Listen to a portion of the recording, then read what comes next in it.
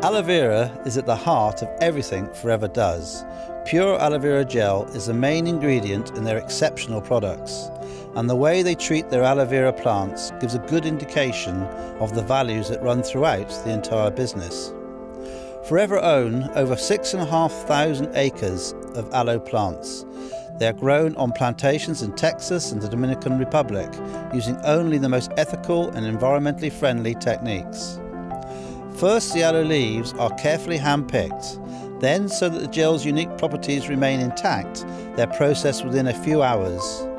Once the gel is removed from the leaves, the leftover rind is put back into the soil to work as a natural fertiliser. No chemicals required.